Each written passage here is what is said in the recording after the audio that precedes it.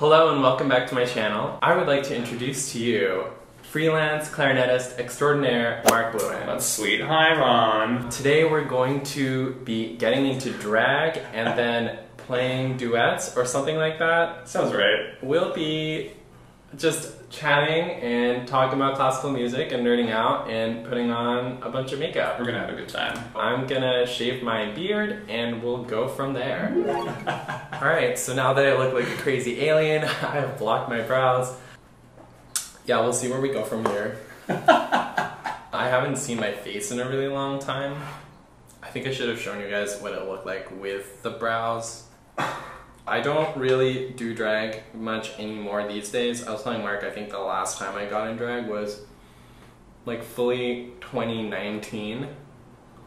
So it's been a hot second. Marc has been practicing. I have. This is my um, new pandemic pastime. Quarantine queen. Quarantine queen. Quarantine queen? Quarantine queen. She's beautiful from the waist up.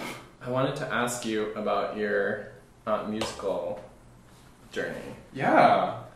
Um, so you started, you didn't have like the most traditional trajectory of classical musicians. Oh my gosh, that's so true. So I played all throughout high school, but I never really thought about music as a serious pursuit. I wasn't um, taking lessons.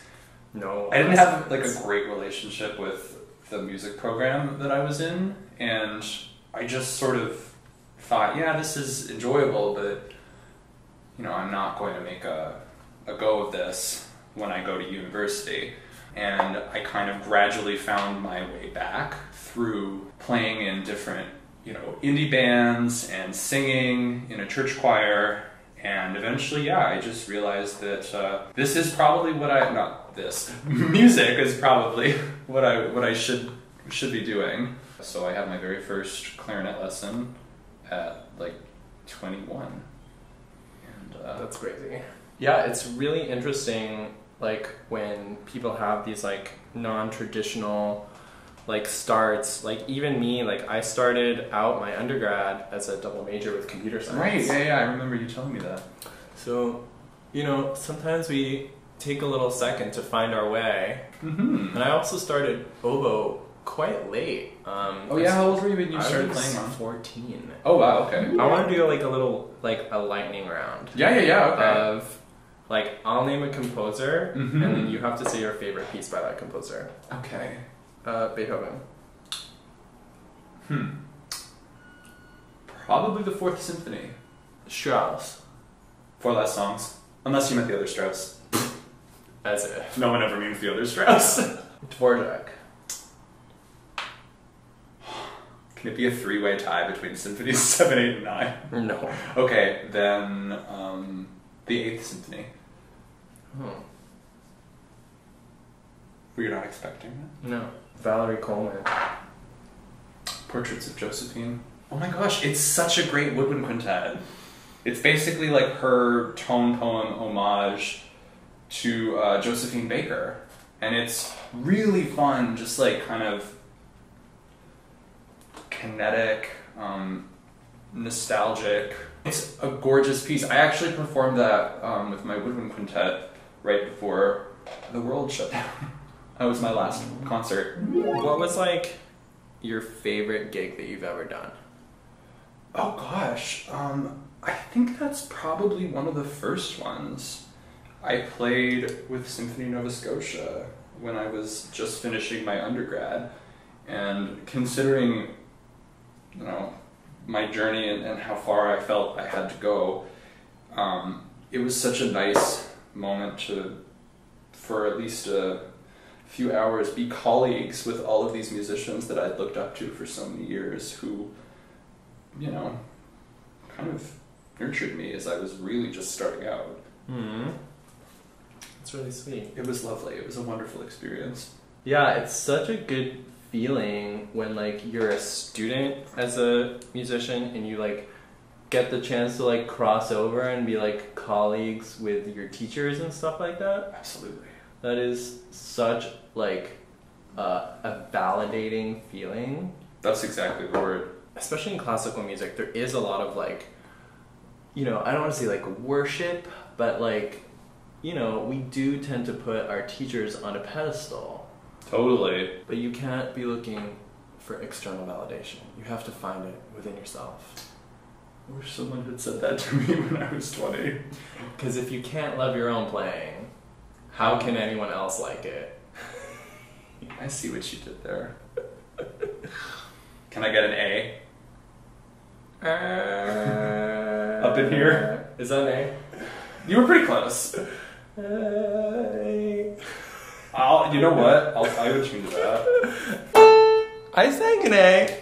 That's close enough. That's what I said! Was the best advice you got about having a career in music? Um, I think be patient. So true. Amen. Like, I think especially our generation, we have grown accustomed to things happening very fast. Um, and there's really no shortcut. You really just have to put the put the time in, put the years in. Allow yourself to take as long as you need. And as cheesy as it sounds, just don't give up. Like So true. just keep going. That's what I was telling myself when I put this eyebrow on. What do you hope will be different when we eventually return to you know whatever normal we're going to be returning to? Uh, just in terms of your career, your experience as a musician, the industry, anything. I hope that there are some significant changes in terms of like inclusivity in classical music. Absolutely. I think that we're like kind of a lot of people are like waking up to the fact that it can be like a really elitist kind of vibe. And I do have like high hopes for that. And I think that the new generation um, that's in music school now are so like emotionally intelligent and are gonna like help lead the charge along with us right. millennials. Absolutely. So I think the duet that we'll be reading is by Marion Bauer. Okay. And for those of you who don't know her, this is a great introduction. Let's read about her biography. Yeah, yeah, yeah. I'd love to hear more because I, gonna be honest, I'm not super familiar. She was, she looks like my grandmother. I'm not even kidding. She actually looks like my grandmother. So she was born in 1882 and died in 1955, and she was an American composer, teacher, writer, and music critic. She played an active role in shaping American musical identity in the early half of the 20th century. Take note. She was an influencer before influencers were influencers. She was on faculty at NYU, Oh, cool. That's amazing. where she taught music history and composition. Um, in addition to her position at NYU, Bauer was affiliated with Juilliard as guest lecturer until her death. That's incredible. She's like an American uh, Boulanger. Totally. Throughout her life, Bauer promoted not only her own work, but new music in general. She helped found the American Music Guild, the Oh American. Music Center, and the American Composers Alliance. That's really cool. I. That's an amazing. What an accomplished person. I know, and it's like so many people have not even heard of her. And she has this cute little piece for oboe and clarinet, a little duo. I'm looking forward to playing it with you. All right, we're all in full makeup, and we are gonna get changed and play a little duet for you. Let's like clap and then transition, and when we clap, it'll be like we changed outfits. Okay, three, two, one. Ta-da! Where am I? What year is it?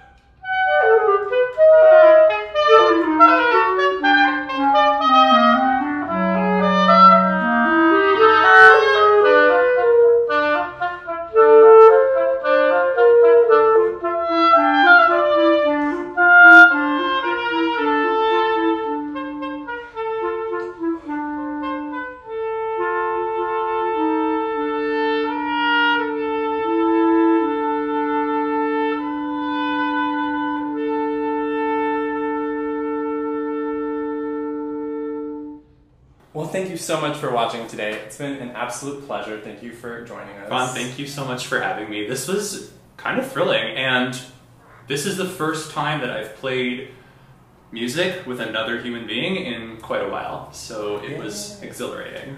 If you like this video, please make sure you give it a thumbs up and subscribe to me here on YouTube. You can find my Instagram at barc_mlouin. Uh, come check me out. I post videos of my practicing, musings, and uh, glamorous selfies. Thank you once again, and have a great day. Bye.